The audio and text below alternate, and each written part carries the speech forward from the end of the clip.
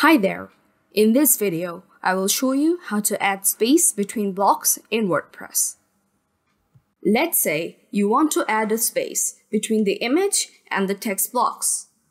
To do that, just click on the plus sign between these blocks and search for spacer.